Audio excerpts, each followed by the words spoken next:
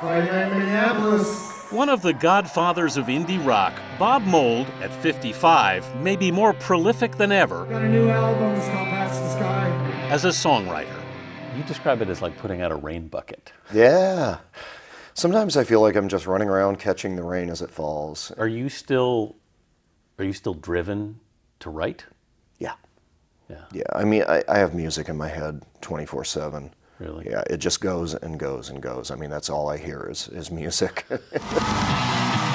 Mould, whose song Dogs on Fire has long been the theme for The Daily Show, first envisioned a life in music while growing up in the farming town of Malone, New York. That's where he first laid hands on the debut album of the Ramones. well, it's like, wow, they look like a gang. It looked like so authentic compared to, you know, the, the, the sparkle and the glitz of heavy metal. And, and then when I heard the music, you know, it was so elemental. And I was like, I think I could probably do this This seemed attainable. attainable. At 17, he went off to Macalester College in St. Paul, Minnesota, and formed the punk band Hüsker Dü with Grant Hart and Greg Norton. The three of us were very driven. Driven to do what? just make music, um, sculpting this sound that was that became very fast, very abrasive, blurry punk rock, sort of taken to an extreme. The band cut its teeth at Minneapolis's famed First Avenue Club, where Prince also played. By the mid 80s, Hüsker Dü was making noise with critics too, and landed a deal with Warner Brothers, becoming the first punk band to sign with a major label. People were elevating the band's cause, and putting us alongside REM or U2 or people like that. Then I thought, hell yeah, I can do this for a while, and I'm pretty sure I can do it better than any of them.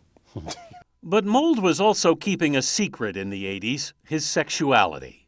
It had to be difficult going into the music business when you did and, and knowing you were gay. when I look back on it, and, and people look at my work in Hüsker Dü and they're like, "What were you so angry about?" I'm like, "Well, put yourself back in the middle of 1983, you know, and the leader of the free world can't even bring himself to name the disease that's killing his friends. You'd be upset too." Mould would have his greatest commercial success with his second band, Sugar, in the 90s. Before going solo. His recent work, including his latest album, Patch the Sky, is considered something of a career renaissance.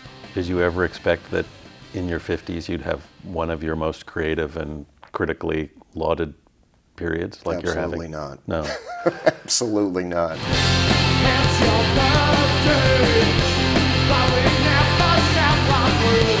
When I started, you know, you know, punk rock, you know, we it had that certain strain of nihilism. Yes. You know, that touched back to that hope I die before I get old. You know, I didn't think I was going to make it to 30 the way that I was living. You've